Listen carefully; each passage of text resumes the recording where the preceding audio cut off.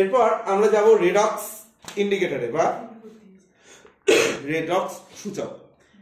এদের কি হয় না, এদের জারিত যে রেডক্স ইন্ডিকেটর আমরা কাদেরকে বলব, যে নির্দেশকগুলি, নির্দেশক মানেই আমরা জানি যে সেটা জটিল জৈব যৌগ, যে নির্দেশকগুলি তার জারিত ফর্মের কালার আলাদা হবে এবং বিজারিত ফর্মের কালার আলাদা হবে, তাহলে সেটাকে আমরা বলব রেডক্স ইন্ডিকেটর। যেরকম মিথিলিন ব্লু।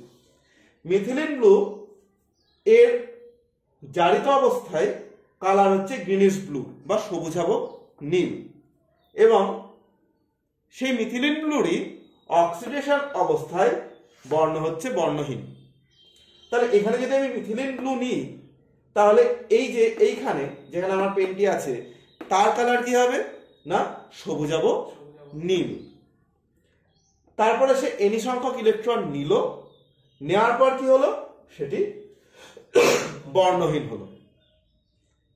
তাহলে এদেরকে আমি বলব রেডক্স ইন্ডিকেটর এবার এই যে বিক্রিয়াটা আমি দেখছি, এই বিক্রিয়াটা একটা নর্মাল জারণ বিজারণ বিক্রিয়া, যেখানে এক নম্বর পদার্থটি জারক তার জারক পদার্থটি বিজারক দুইয়ের সঙ্গে বিক্রিয়া করছে এবং এক নম্বর পদার্থ মানে জারক পদার্থটি, সে তার, সে বিজারক পদার্থে রূপান্তরিত হচ্ছে, ঠিক আছে? মানে তার, এবং যেটি বিজারক ছিল, সেটি নিজে জারক পদার্থে পরিণত হচ্ছে বা তার জারণ ঘটছে। এই জিনিসটাই হয়। এইবার আমরা কোনো, তাহলে এই যে জিনিসটা আমি পেলাম, তাহলে এই জিনিসটার এটাকে আমি বলতে পারি অক্সিডাইজড ফর্ম এটাকে আমি বলি রিডিউসড ফর্ম ঠিক আছে? এইবার এইটার আমি নাম দিলাম ই জিরো এটার আমি নাম দিয়েছি আইন ঠিক আছে?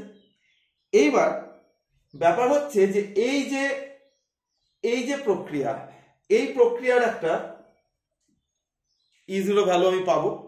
তাহলে ই জিরো আইন, এটা কিন্তু ই জিরো রেট মানে এর থেকে বেশি হবে। এবং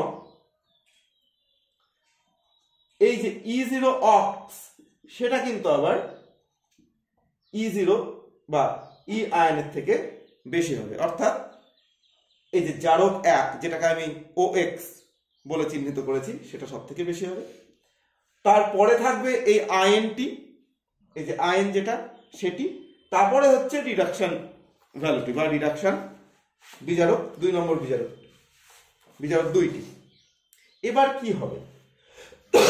যেহেতু এটার বিজারণ পোটেনশিয়াল সব থেকে বেশি, তাই জন্যে এ নিজে ইলেকট্রন গ্রহণ করে নিজে বিজারিত হতে চাইবে। তাহলে ইলেকট্রন গ্রহণ করে যদি নিজে বিজারিত হয়, তাহলে সেটি এটাকেও ইন্ডিকেটরকেও নিজে বিজারিত হচ্ছে।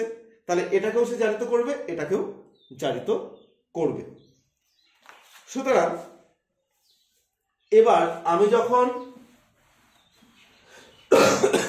আমি যখন জারকটাকে টার্টেশন প্রক্রিয়ায় আমি এটাকে নিয়েছি হচ্ছে বিউরেটে এবং বিজারক মানে ও এক্সটা আমি নিয়েছি বিউরেটে এবং বিজারক সেটা আমি নিয়েছি কনিকাল ফ্লাস্কে। তাই তো হয় এর মধ্যে কি আছে? ইন্ডিকেটর আছে। এবং ইন্ডিকেটরে যেহেতু বিজারক তাই জন্যে ইন্ডিকেটরের বিজারণ যে ইয়েটা, রং, সেটা একটা নির্দিষ্ট রং এখানে শো করছে। সেটা কালারলেস বা কালার কিছু একটা হতে পারে। তাহলে একটা রং সে শো করবে। এইবার কি হয়? না যখন আমি জারক পদার্থ যোগ করছি, যখন আমি জারক পদার্থ যোগ করছি, তখন কি হচ্ছে? এই জারক পদার্থটি বিজারক এবং ইন্ডিকেটর দুটোকেই নিজে জারি, নিজে বিজারিত হচ্ছে এবং দুটোকেই জারিত করে দিচ্ছে। ঠিক আছে? অর্থাৎ বিজারক, এই যে এই বিজারকটা জারক পদার্থে রূপান্তরিত হয়ে যাচ্ছে। ইন্ডিকেটরটাও হচ্ছে। এইবার যেহেতু এই ইন্ডিকেটরটা আবার এটার থেকে বড়, তাই জন্য কি করছে? সেটি তার আর জারিত অবস্থায় থাকতে চাইছে না। ঠিক আছে? তাহলে কি হলো? জারক কি করল? তার রিডাকশনকে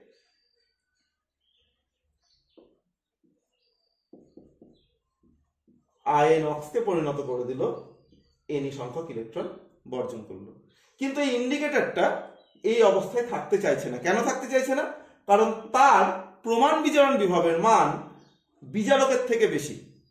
সুতরাং সে কি করছে?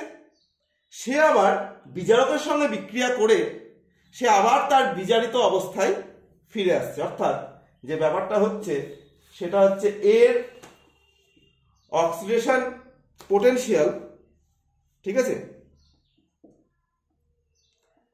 সে আবার এই যে রেড মানে দুই নম্বর বিচারক, যেটা কিনা কিছুটা বিক্রিয়া করেছিল, সেটার সাথে আবার বিক্রিয়া করছে এবং এই বিচারক কিন্তু খুব অল্প পরিমাণে নেওয়া মানে সরি এই ইন্ডিকেটার কিন্তু খুব অল্প পরিমাণে নেওয়া হয়। তার মূল কারণ এইটা যে বিক্রিয়া করে। ঠিক আছে? বিক্রিয়া করছে এবং বিক্রিয়া করার পর সে নিজে আবার তার অক্সি রিডিউস ফর্মে চলে যাচ্ছে। ঠিক আছে? হলো? তাহলে আমি কি দেখতে পাচ্ছি? কেন যাচ্ছে? এই যাওয়াটার কারণ কি? না, এই যাওয়াটার কারণ হচ্ছে যেহেতু এটা বেশি। ঠিক আছে? আয়নটা যেহেতু বেশি আয়ন রিডাকশনের থেকে। তাহলে কি হচ্ছে না, যতক্ষণ এই জিনিসটা থাকছে, ততক্ষণ যদিও জারক পদার্থ এর রিডাকশন ভ্যালুকে মানে এর রিডাকশন ফর্মকে অক্সিডেশনে পরিণত করছে, কিন্তু যতক্ষণ অবধি এই দুই নম্বর বিজারক দুই, যাকে আমি আরইডি বলে লিখেছি, সেটি যতক্ষণ কনিকাল ফ্লাস্কে উপস্থিত আছে, ততক্ষণ সেটি আয়ন অক্সের সঙ্গে বিক্রিয়া করছে এবং তাকে পুনরায় আয়ন রেডে রূপান্তরিত করে দিচ্ছে। অর্থাৎ আমি দেখতে পাচ্ছি যে যতক্ষণ এই জিনিসটি কনিকাল ফ্লাক্সে উপস্থিত থাকবে, ততক্ষণ এই ইন্ডিকেটরটি তার বিজারণ অবস্থায় যে রং বা যে বর্ণ হয়, তখন সে সেটাকে দেখাবে। এবার ধরা যাক, আস্তে আস্তে সব বিজারক এই জারকের সঙ্গে বিক্রিয়া করে নিল। তখন আর কনিকাল ফ্লাস্কে এই বিজারকটা নেই। ঠিক আছে? পড়ে আছে কি? শুধু ইন্ডিকেটর তখন এই ইন্ডিকেটরটি কি হলো? ইন্ডিকেটরটি আছে তার কোন প্রপার্টিতে আছে তার রিডিউসড ফর্মে তখন যখন আর এক ফোঁটা জারক পদার্থ যোগ করা হলো, তখন সে এই আয়ন রেডের সঙ্গে বিক্রিয়া করল এবং তাকে আয়ন অক্সে পরিণত করে দিল। যখন পরিণত করে দিল, তার কালার চেঞ্জটা হলো, কিন্তু দুর্ভাগ্যবশত তখন আর কোনো রিডিউসিং এজেন্ট এখানে উপস্থিত নেই। তখন তাকে এই ফর্মেই থেকে যেতে হলো এবং বর্ণের একটা শার্প পরিবর্তন আমরা দেখতে পেলাম। এটাই হচ্ছে রেডক্স ইন্ডিকেটরের কার্যনীতি। ঠিক আছে?